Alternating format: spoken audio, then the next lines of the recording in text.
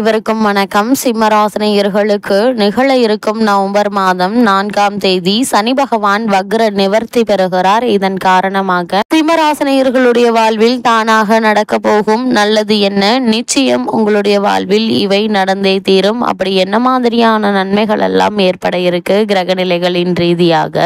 இருக்கும் சாதகங்கள் என்ன? பாதகங்கள் என்ன? மேலும் என்ன மாதிரியான முன்னேற்றங்கள் எல்லாம் உங்களுடைய வாழ்வில் ஏற்பட இருக்கு என்பது கிரகங்களுடைய சஞ்சார நிலைகள் என்ன என்று பார்க்கும்போது ரிஷபத்தில் குரு பகவான் வக்ரகதியிலும் கடகத்தில் செவ்வாயும் கன்னியில் கேதுவும் துலாம் ராசியில் சூரியனும் விருச்சகத்தில் சுக்கரனும் புதனும் கும்பத்தில் சனி வக்ர நிவர்த்தி பெற்றும் மீனத்தில் ராகுவும் சஞ்சரிக்கிறாங்க. இந்த கிரகங்களுடைய சஞ்சார நிலைகளின் காரணமாக சிம்மராசினியர்களுடைய வாழ்வில் குடும்ப சூழ்நிலை ரீதியாக உத்தியோகம் தொழில் வியாபாரம் கலைத்துறை அரசியல் துறை மாணவ மாணவிகள் விவசாயத்துறையினர் பெண்மணிகள் என அனைவருக்குமே என்ன மாதிரியான முன்னேற்றங்கள் எல்லாம் ஏற்பட இருக்கு என்பது குறித்தான முழுமையான பதிவு தான் இந்த வீடியோல நம்ம விரிவா பார்க்க போகிறோம். அந்த வகையில சிம்மராசியை சேர்ந்த சேர்ந்தவர்கள் ஆன்மீக சம்பந்தமான தகவல்கள் வாஸ்து சம்பந்தமான தகவல்கள் நவகிரக சன்னதிகள் எங்கு உள்ளன அங்கு சென்று நாம் எப்படி வழிபட வேண்டும் பரிகாரங்கள் செய்யும் முறைகள் என்ன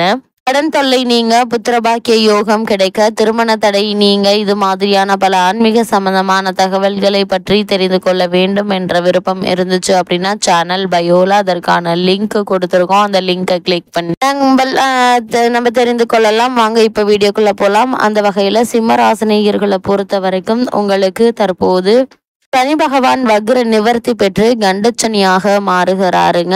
அதாவது இதுவரை உங்களுடைய ராசிக்கு ஏழாம் இடமான கலுத்திர ஸ்தானத்தில் சஞ்சரித்து வந்த வக்ரம் பெற்று சஞ்சரித்து வந்த சனி பகவான் வக்ர நிவர்த்தி பெறுகிறார். இதை கண்டகச்சனி என்று சொல்வது வழக்கம். கண்டகச்சனி என்றால் பயப்பட தேவையில்லைங்க. ஆரோக்கிய தொல்லையே கொடுக்கலாமே தவிர சொந்த வீட்டில் சஞ்சரிப்பதால் பெரிய அளவில் பாதிப்புகள் ஏற்படாதுங்க. தான் உண்டு தன்னுடைய வேலை உண்டு என்று இருப்பதன் மூலமும் எதையும் யோசித்து செய்வதன் மூலமும் உங்களுக்கு உங்களால் உங்களால் மன நிம்மதி பெற முடியும் என்பதை கிரகங்களுடைய சஞ்சார நிலைகள் தெளிவாகவும் உறுதியாகவும் எடுத்து காட்டுதுங்க. அது மட்டும் இல்லாம சிம்ம ராசியை சேர்ந்த அனைவருக்குமே இந்த சனி பகவானுடைய வக்ர நிவர்த்தியின் காரணமாக என்ன மாதிரியான நன்மைகள் ஏற்பட இருக்குது? குறிப்பா உங்களுடைய ராசிக்கு ஏழாம் இடத்தில் சனி பகவான் சஞ்சரிக்கிறார். அதுவும் வக்ர நிவர்த்தி பெற்று இதன் விளைவாக உங்களுக்கு உங்களை சேர்ந்தவர்களுக்கோ உடலில் சிறு அச்சுறுத்தல்கள் தோன்றினாலும் உடனடியாக மருத்துவ ஆலோசனைகளை பெறுவது மிக மிக நல்லதுங்க. குடும்ப உறவில் விரிசல்கள் ஏற்படாமல் பார்த்து கொள்ளுங்க. உத்தியோகத்தில் திடீர் மாற்றங்கள் ஏற்படுவதற்கான வாய்ப்பு அதிகம் இருக்குது. வெளிநாடு அல்லது வெளி மாநிலம் செல்லும் முயற்சியில் சிறு சிறு தடங்கல்கள் தாமதங்கள் கூட ஏற்படலாங்க. ஒரு சில காரியங்களில் நினைத்தது ஒன்றும்